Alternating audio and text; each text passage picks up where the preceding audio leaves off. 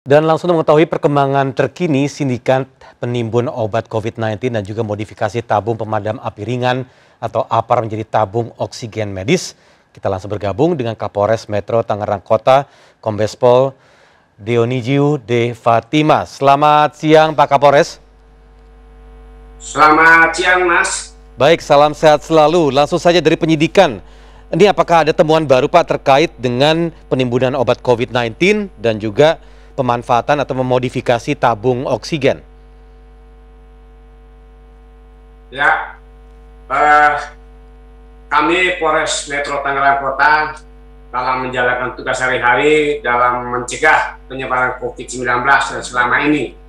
Dalam suasana penyebaran COVID yang masih tinggi, namun demikian masih ada oknum-oknum yang sengaja uh, melakukan penumpukan terhadap Eh, alat-alat uh, kesehatan yang di mana alat kesehatan ini yang selama ini sangat dibutuhkan oleh uh, para pengaruh atau terpaparnya COVID-19 yang seperti tabung gas. Nah ini pelaku sengaja menumpuk barang-barang ini dan verifikasi dari tabung gas yang dari uh, yang menjadi O2 yang didistribusi dengan alat-alat yang lain hingga dijual secara online dan harga yang lebih mahal. Ya Pak Kapolres, kalau melihat dari rencana dari yang tertangkap ini, alat-alat ini akan diedarkan di mana saja ya? Gimana Mas? Ya, rencananya alat-alat ini akan diedarkan ke wilayah mana saja, Pak? memang alat-alat ini dia numpuk di tempatnya, di rumahnya, dan dia menjual secara online. Secara online dengan harga yang lebih mahal daripada harga pasaran biasanya. Baik, dan sekarang terkait ancaman hukumannya seperti apa, Pak, dengan adanya penangkapan ini?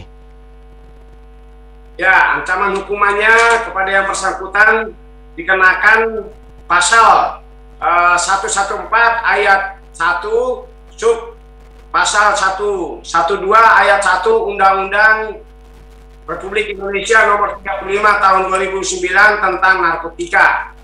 Uh, karena yang bersangkutan pada saat awalnya uh, seorang pengedar narkoba.